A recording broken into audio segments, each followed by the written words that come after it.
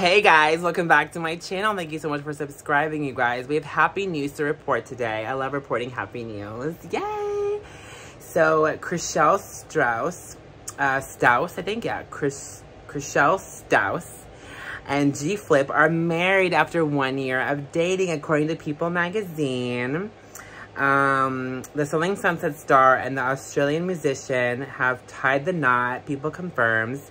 Now, Stause is 41 she posted um, on her Instagram reel yesterday featuring a video of snippets of her and G Flip enjoying time together. And yeah, love doesn't always go as planned. Sometimes it's immeasurably better. Stause captioned the reel, which showed a picture of them married at the end of the reel. Congratulations, girl. Um, very, very exciting. Um, the song featured on the reel is G Flip's new song that they wrote about Chrishell, um, titled I'll Be Your Man. Aww, so cute! They found love together in an unexpected place. Nothing has ever felt more real to them, a source told People. The couple first met on Halloween in 2021 when Stause was still dating her Sunset, um, her Selling Sunset co-star Jason Opium, Opium, not Opium, but Oppenheim. There we go, Oppenheim. And G Flip was also in a relationship. The Australian musician recalled the aftermath of their first encounter with the actress during an episode of the People Everyday podcast. Aww, so cute.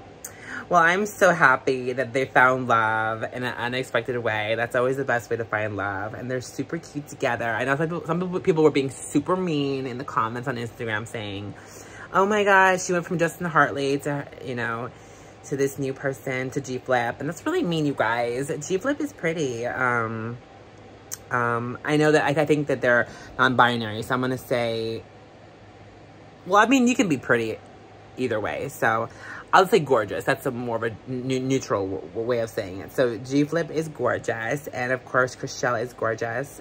Um, yeah, so I think they're a cute couple. And I wish them all the best. And um, yeah, you guys, what do you think about this couple? Are you for it? Um, what do you think Justin Hartley thinks about this? I'm curious. I want to know Justin Hartley's reaction. Um, yes, Justin's hot, but things didn't work out between her and Justin, so yeah, I'm happy that they're together. So yeah, let me know your thoughts and opinions in the comments below. Like and subscribe for more drama and tea. Thank you for subscribing. Until next time, bye guys.